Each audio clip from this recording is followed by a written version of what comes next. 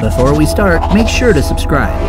Tap the bell to get notified about all new videos.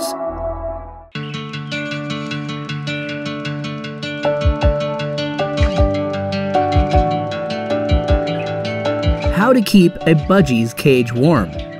Budgies, or parakeets as you probably know them, are warm weather birds. To prevent your feathered friend from becoming a birdsicle, you need to make sure the cage is warm at all times.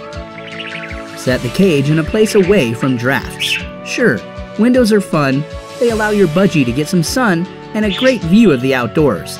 But if there's cold wind coming in through the seams, things can get chilly rather quickly.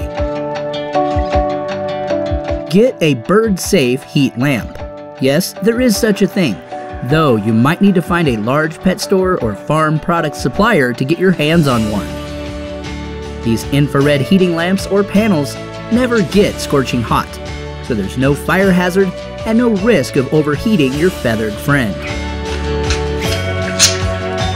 Buy a warm mist air humidifier to turn your home into the equivalent of a sticky tropical rainforest.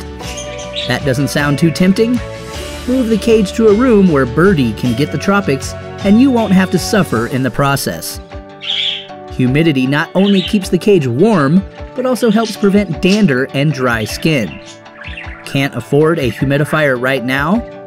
Old fashioned tricks like placing damp towels on top of your radiator will also increase the humidity in the room. Cover the cage with a fleece blanket at night. Move the cage away from windows first, as glass gets cold when the temperature goes down. Make sure the blanket is big enough that it completely covers the cage, so there's no draft of cold air getting in.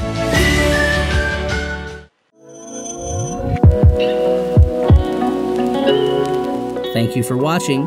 If you want more Budgie videos, make sure to leave a like, comment, and subscribe.